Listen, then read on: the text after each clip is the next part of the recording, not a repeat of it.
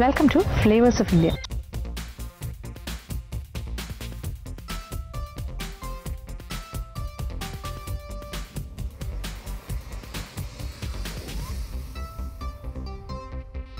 ഞാൻ ഇന്നും പുതുക്കോട്ടെ പരിസരത്ത് തന്നെയാണ്. പുതുക്കോട്ടയുടെ പ്രാന്തപ്രദേശങ്ങളിൽ കറങ്ങി നടക്കുവാണ്. ഇത് തമിഴ്നാടിന്റെ ഭാഗം തന്നെയാണ്. ഇവിടുത്തെ പ്രത്യേകത തമിഴ്നാട്ടിലെ ഏത് പ്രദേശത്ത് വന്നാലും നല്ല നാഷണൽ ഹൈവേ ആണ്. പിന്നെ ഈ ഇട റോഡുകളിലേക്ക് വന്നു കഴിഞ്ഞാലും ഗ്രാമക്കാഴ്ചകൾ കാണാൻ വന്നാലും കുഴപ്പമില്ലാത്ത റോഡ്സാണ് രണ്ട് സൈഡിലും ഇങ്ങനെ തണൽ വൃക്ഷങ്ങൾ. പ്രത്യേകിച്ച് എടുത്തു പറയാവുന്നത് തമിഴ്നാടിന്റെ പുളിമരങ്ങളാണ്. ഇതുമെല്ലാം ഗ്രാമക്കാഴ്ചയുടെ ഭാഗമാണ്. ചെറിയ ചെറിയ ഫാക്ടേഴ്സ് ഒക്കെ പോകുന്ന കാഴ്ച. എന്നാൽ നമ്മൾ കുടുംബാലൂർ എന്ന് പറയുന്ന സ്ഥലത്തേക്കാണ് പോകുന്നത്. കൊടുമ്പാലൂരിനെ കുറിച്ച് പറയാനാണെങ്കിൽ ഇത് പുതുക്കോട്ടയുടെ ഏൻഷ്യൻ സൈറ്റുകളിലൊന്നാണ് ഇവിടുത്തെ പ്രത്യേകത ശിലപ്പതികാരത്തിലാണ് ആദ്യമായിട്ട് ഈ കുടുംബാലൂർ എന്നുള്ള സ്ഥലത്തിനെ കുറിച്ചൊരു പരാമർശമുണ്ട്. കുടുംബാലൂർ കുടുംബ കുടുംബാലൂർ എന്ന ഫുള്ളിലെ കൊടുമ്പാലെ എന്നുള്ള രീതിയിൽ കൊടുത്തിട്ടുണ്ട് കുടുംബാലൂർ അതായത് ശിലപ്പതികാരത്തിന്റെ ആ ഒരു കഥയിൽ അതിലെ നായകനായ കോവാലനും അദ്ദേഹത്തിന്റെ പത്നിയായ കണ്ണകിയും ഇതുവഴിയാണ് സഞ്ചരിച്ചതെന്നാണ് പറയുന്നത്. അതായത് മധുരയുടെയും ട്രിച്ചിയുടെയും ഇടയ്ക്കുള്ള സ്ഥലം ആയിരുന്നു ഈ കൊടുമ്പാലൂർ. ഉറയൂർ എന്നാണ് അന്ന് ട്രിച്ചിക്ക് പറഞ്ഞിരുന്നത് ഉറയൂർ. അത് ഉറയൂർ എന്ന് പറയുന്നത് ശരിക്കും ആ കാലഘട്ടത്തിലെ ചോള രാജാക്കന്മാരുടെ തലസ്ഥാനമായിരുന്നു. അപ്പോൾ ഇവിടുത്തെ പ്രത്യേകത എന്താണെന്ന് വെച്ചാൽ ഇവിടെ ഏൻഷ്യന്റ് ആയിട്ടുള്ള വളരെ പഴക്കം ചെന്ന പുരാതനമായ ക്ഷേത്ര സമുച്ചയങ്ങളുണ്ട്. അപ്പോൾ അത് കാണാനാണ് നമ്മളിപ്പോൾ പോകുന്നത്. അപ്പോൾ ഈ ഗ്രാമക്കാഴ്ചകളും കണ്ട് നമുക്ക് മുന്നോട്ട്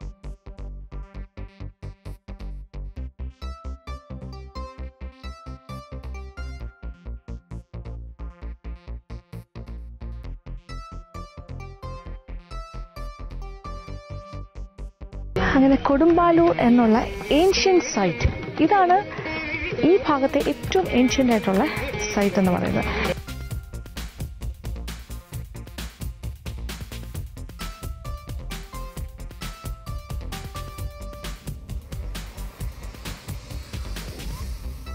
മനോഹരമായ മൂവർ ക്ഷേത്രം.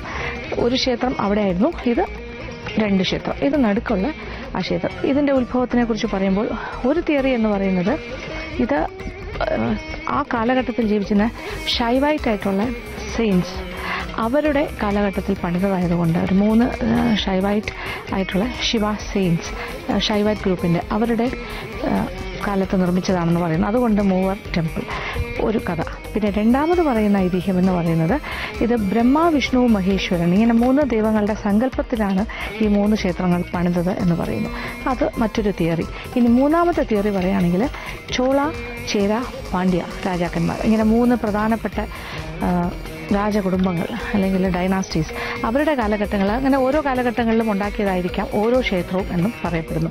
എന്താണെങ്കിലും ഇവിടെ എല്ലാം തന്നെ ശൈവായിട്ടായിട്ടുള്ള അതായത് ശിവ ടെമ്പിളിനാണ് കൂടുതൽ പ്രാധാന്യം.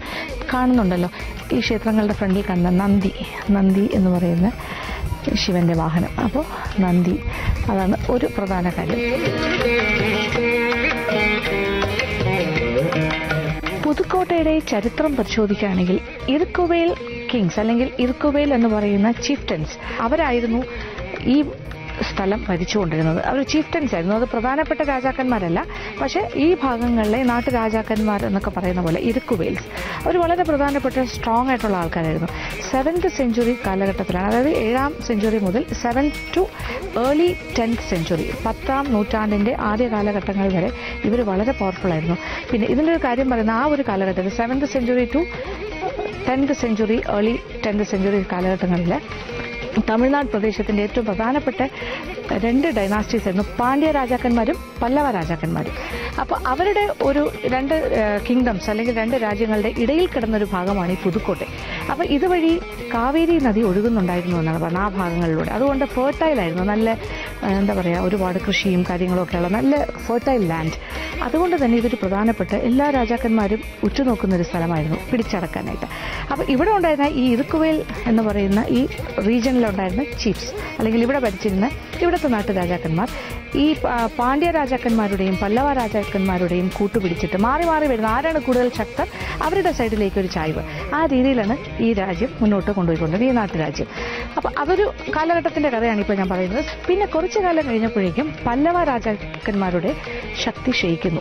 അവരെ ചോള രാജാക്കന്മാർ പിടിച്ചടക്കുന്നു. അപ്പൊ ചോള കിങ്ഡം. ചോളാസ് വരുന്നു അവർ പല്ലവാസിനെ കീഴടക്കുന്നു. ആ കൂട്ടത്തിൽ തന്നെ ഈ ഇരിക്കുക എന്ന് പറയുന്ന ഇവർക്കും ഇവരുടെയും ശക്തി കുറച്ച് ക്ഷയിക്കുന്നു. പക്ഷേ എന്ത് പറ്റുന്നു എന്ന് വെച്ചാൽ അവർ ഉടനെ തന്നെ ചോള രാജാക്കന്മാരുടെ കൂട്ടുകാരായി മാറുന്നു. പിന്നീടുള്ള കാലഘട്ടത്തിൽ പാണ്ഡ്യ ചോള രാജാക്കന്മാരുടെ അധീനതയിലാണ് ഈ പ്രദേശങ്ങളെല്ലാം വരുന്നത്. പക്ഷേ അവരുടെ അധീനതയിലാണെങ്കിലും ഈ പ്രദേശത്തൊക്കെ അവർക്ക് ഡയറക്റ്റ് ആയിട്ട് അത് ക്യാപിറ്റലിൽ നിന്നും കുറച്ച് മാറി നിൽക്കുന്ന സ്ഥലമായതുകൊണ്ട് ഒരു മിഡിൽ പോർഷനാണ് ഈ പുതുക്കോട്ടെ ഈ പരിസരമെല്ലാം. ഈ കൊടുമ്പാലൂർ ഈ പരിസരമെല്ലാം. അപ്പോൾ അതുകൊണ്ട് തന്നെ ഡയറക്റ്റ് ആയിട്ട് അവർക്ക് ഭരിക്കാൻ സാധിക്കില്ല. അതുകൊണ്ട് ഈ ഇവിടുത്തെ ചിഫ്റ്റൻസിനെ തന്നെയാണ് ഈ നാട് ഭരിക്കാനായിട്ട് ഏൽപ്പിക്കുന്നത്. അങ്ങനെ പാണ്ഡ്യ ചോള രാജാക്കന്മാരുടെ ഭരണം കഴിഞ്ഞ് പിന്നീട് മാലിക് കഫൂറിന്റെ ഭരണം കുറച്ച് ഡൽഹി സുൽത്താനിലെ മുസ്ലിം ഇൻവേഷൻ അങ്ങനത്തെ കാലം. അത് കഴിഞ്ഞ് അതിൽ നിന്നും അവരെ രക്ഷപ്പെടുത്തിയെടുത്തത് വിജയനഗർ രാജാക്കന്മാരാണ്. വിജയനഗർ എംപയറിന്റെ ആ ഒരു പീരീഡിൽ അത് കഴിഞ്ഞിട്ട് ആ ഒരു കാലഘട്ടത്തിൽ തന്നെയാണ് മധുരൈ നായക്സ് എന്ന് പറഞ്ഞിട്ട് നായക്സ് ഓഫ് മധുരൈ അതുപോലെ തഞ്ചാവൂരിലെ നായക്സ് അങ്ങനെയുള്ള ചിഫ്റ്റൻസ് അല്ലെങ്കിൽ അവിടുത്തെ ഈ നാട്ടുരാജാക്കന്മാരെല്ലാം കുറച്ചുകൂടെ പവർഫുൾ ആയിട്ട് വരുന്നു. പിന്നെ സെവന്റീൻത് സെഞ്ചുറി ആയപ്പോഴേക്കും തൊണ്ടേമാൻ ഡൈനാസ്റ്റിയുടെ കീഴിലേക്ക് ഈ ഭാഗമെല്ലാം വരുന്നു. അതായത് ഈ പുതുക്കോട്ടെ പ്രദേശം മൊത്തമായിട്ട്. അപ്പോൾ തൊണ്ടേമാൻ രാജാക്കന്മാർ ഭരിച്ചുകൊണ്ടിരുന്നപ്പോൾ അവർ ഏതാണ്ട് ഒൻപത് രാജാക്കന്മാരാണ് ആ ഡൈനാസ്റ്റിയിൽ ഉണ്ടായിരുന്നത്. അവർ ഭരിച്ചുകൊണ്ടിരുന്ന കാലത്ത് ആണ് ഇവിടെ ടിപ്പു സുൽത്താൻ ഹൈദരാലിയുടെയും ടിപ്പു സുൽത്താന്റെ എല്ലാം അധിനിവേശം. അവരുടെ ഒരു ആക്രമണവും കാര്യങ്ങളും. കാര്യം പുതുക്കോട്ടെ ഒരു ഫെർട്ടൈൽ ഏരിയയാണ് ഈ ഭാഗങ്ങളെല്ലാം പിടിച്ചടക്കാനായിട്ട് അവർക്കൊരു നോട്ടം. അപ്പോൾ ഇവരിൽ നിന്നും രക്ഷ നേടാനായിട്ട് ബ്രിട്ടീഷുകാരുടെ സഹായം തേടുന്നു. ഈ തൊണ്ടേമാൻ ഡൈനാസ്റ്റി പിന്നെ ബ്രിട്ടീഷുകാരുടെ സഹായത്തോടു കൂടി ഇവിടെ എല്ലാം സുരക്ഷിതമായിട്ട് അവർ രാജ്യം ഭരിച്ചു പോകുന്നു. ബ്രിട്ടീഷുകാരുടെ വാസൽസായി മാറുന്നു. അവരുടെ അധീനതയിൽ ഈ പ്രദേശങ്ങളെല്ലാം തന്നെ ഈ തൊണ്ടേമാൻ രാജാക്കന്മാർ അവരുടെ ആൾക്കാരായിട്ട് നിന്നുകൊണ്ട് അല്ലെ ബ്രിട്ടീഷ് സപ്പോർട്ടോടു കൂടി നിന്ന് നമ്മുടെ ഇന്ത്യയ്ക്ക് ഇൻഡിപെൻഡൻസ് കിട്ടുന്നവരെ ഈ പ്രിൻസിലി സ്റ്റേറ്റ് എല്ലാം തന്നെ ഇന്ത്യൻ യൂണിയന്റെ ഭാഗമാകുന്നതുവരെ ഭരിച്ചിരുന്നു. ലാസ്റ്റ് തൊണ്ടേമാൻ ഡൈനാസ്റ്റിയിലെ ലാസ്റ്റ് രാജാവ് എന്ന് പറയുന്നത് ബ്രിട്ടീഷുകാർ തന്നെ സെലക്ട് ചെയ്ത ആറ് വയസ്സുള്ളൊരു രാജാവായിരുന്നു. സിക്സ് ഇയേഴ്സ് അപ്പൊ അങ്ങനെ കുറേ കഥകളുണ്ട്. പക്ഷേ ഈ കാണുന്ന ക്ഷേത്ര സമുച്ചയങ്ങൾ ഈ രണ്ട് ഇപ്പം രണ്ടെണ്ണമല്ലേ ഉള്ളൂ. ഇതെല്ലാം തന്നെ നയൻത് സെഞ്ചുറി എ ഡിയിലാണ് നിർമ്മിക്കപ്പെട്ടത്. അപ്പോൾ ആ ഒരു പീരീഡിൽ ഇതിന് ഒരുപാട് പ്രത്യേകതകളുണ്ട് ഈ ക്ഷേത്രത്തിന്. കാര്യം പുരാതന ക്ഷേത്രം. ഇപ്പോൾ ഡൈലാപ്പിലേറ്റഡ് കണ്ടീഷനിലാണ് കാര്യം രണ്ടെണ്ണം മാത്രമേ ബാക്കിയുള്ളൂ. ഇതിന്റെ എല്ലാ സ്ട്രക്ചർ പ്രത്യേകം പ്രത്യേകം കണ്ടാൽ നമുക്ക് കുറേ കാര്യങ്ങൾ മനസ്സിലാക്കാൻ സാധിക്കും. ഇത്തരം ക്ഷേത്ര സമുച്ചയങ്ങളിനെ പറയുന്നത് പരിവാര കോംപ്ലക്സ് എന്നാണ്. പരിവാര കോംപ്ലക്സ് എന്ന് പറയുമ്പോൾ ഒരു പ്രധാനപ്പെട്ട ക്ഷേത്രം ഉണ്ടാവും. പക്ഷെ അതിന് ചുറ്റോട് ചുറ്റും പരിവാരങ്ങൾ അതായത് മറ്റ് ഡൈറ്റീസ് ഇപ്പോൾ ശിവ ശിവഭഗവാനാണെങ്കിൽ ശിവഭഗവാന്റെ കുടുംബം അല്ലെങ്കിൽ അതുമായി ബന്ധപ്പെട്ട മറ്റ് ദൈവങ്ങളൊക്കെ. ഇപ്പോൾ നോക്കിക്കോളൂ. പ്രധാനപ്പെട്ട ക്ഷേത്രങ്ങൾ രണ്ട്. മൂന്ന് ക്ഷേത്രം ഉണ്ടായിരുന്നു. ഒന്ന് രണ്ട് മൂന്ന്. ഒരെണ്ണം ഇപ്പോൾ ഇല്ല. ബേസ്മെന്റ് മാത്രമേ ഉള്ളൂ. അതിന്റെ ഫ്രണ്ടിലായിട്ട് ഒരു വലിയൊരു മഹാമണ്ഡപം. ഈ നടുക്ക് കാണുന്ന ഒരു വലിയൊരു കോട്ടി കോട്ടിയാടുമാതിരി ഒരു മഹാമണ്ഡപം ഉണ്ടാകും. അതിനോട് ചേർത്ത് ഈ ഉപദൈവങ്ങളെ പ്രതിഷ്ഠിക്കാനായിട്ട് കണ്ടില്ലേ? ഇവിടെ എല്ലാം ഇതെല്ലാം ഡയലാപ്പിലേറ്റഡ് ആണ്. ഇപ്പോൾ ഒന്നും ബാക്കിയില്ല പക്ഷേ ഒക്കെ ബേസ്മെന്റ് നമുക്ക് കാണാൻ സാധിക്കും. ഇവിടെ ഒരു ക്ഷേത്രം അവിടെ ഒരു ക്ഷേത്രം ഇവിടെ ഒരു ക്ഷേത്രം ഇതിന് ചുറ്റോട് ചുറ്റും കുഞ്ഞു കുഞ്ഞു ക്ഷേത്രങ്ങളുണ്ടാവും. അതാണ് പരിവാര കോംപ്ലക്സ് എന്ന് പറയുന്നത്. ഒരുപാട് പരിവാരങ്ങളോടുകൂടിയാണ് ഈ ദൈവങ്ങൾ വാണിരുന്നത്. അപ്പോൾ പ്രധാനപ്പെട്ട മൂന്ന് ക്ഷേത്രവും ചുറ്റും പരിവാര ക്ഷേത്രങ്ങളും ഉണ്ടാവും. മഹാമണ്ഡപം ഇവിടെ. കൂടാതെ നന്ദി മണ്ഡപം. അതായത് നന്ദിയെ പ്രതിഷ്ഠിച്ചിരിക്കുന്ന ഒരു മണ്ഡപം. പിന്നെ ബലിപീഠം. ഇങ്ങനെയുള്ള എല്ലാ കാര്യങ്ങളും ഉണ്ടാവും. പിന്നെ വിമാനാകൃതിയിലുള്ള ഒരു വിമാനാസ് എന്ന് പറഞ്ഞാൽ ഇങ്ങനെ മുകളിലത്തെ ആ മേൽക്കൂര ത്രീ ടയർ സ്ട്രക്ചർ ഇങ്ങനത്തെ കുറേ കാര്യങ്ങൾ.